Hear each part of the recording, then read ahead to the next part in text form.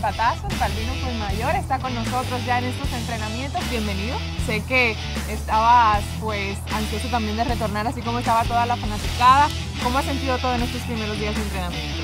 Mira, bien contento de regresar a mi tercera temporada con los tecolotes de los Laredos.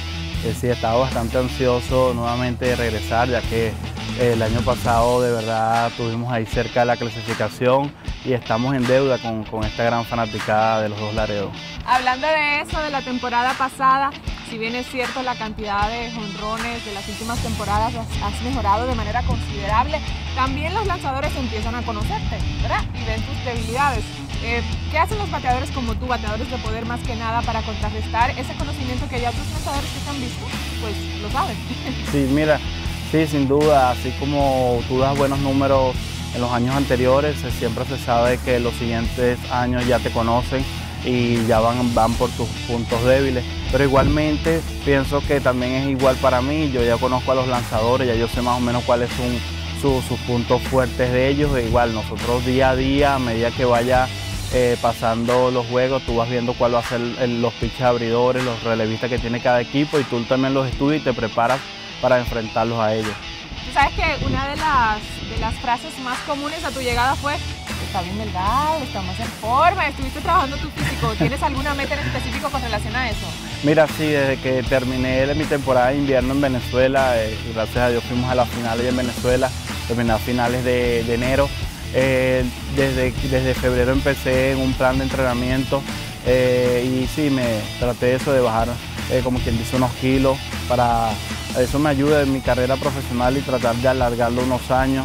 Eh, y para, va a ayudar también en cuanto al equipo, en cuanto a, veces ganar una base extra o muchos, en muchos factores. Así que sí, me lo propuse, gracias a Dios lo logré, llegué con menos peso eh, y bueno, ya ansioso para brindar mi granito de arena y ayudar al equipo. Hablando de eso, el equipo sin dudas, este, mm, nuevos rostros, otros ya conocidos, pero también tienes paisanos aquí, está el señor Álvaro Espinosa, que para, en general, yo creo que el seguidor del béisbol latino es eh, pues uno de los estandartes de seguimiento y de consistencia. Está Jairo Pérez también, así que te sentirás un poquito más en familia, ¿no?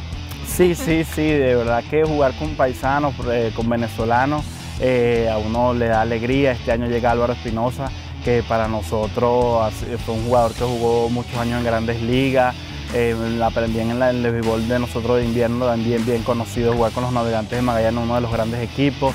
Eh, también tenemos a Lester Olivero, que juega conmigo en Venezuela en la Liga de Invierno con Caribe de Anzuategui. Y Jairo Pérez es mi primera vez que juego con él eh, como equipo, pero eh, lo conozco porque es venezolano y jugamos siempre en contra en Venezuela. Así que yo pienso que también eso es un plus de que a uno le gusta a veces tener jugadores que uno a veces conoce y yo pienso que ellos se van a integrar rápidamente al equipo y nos van a ayudar y van a brindar un aporte eh, muy, muy grande a nuestro equipo que nos va a ayudar.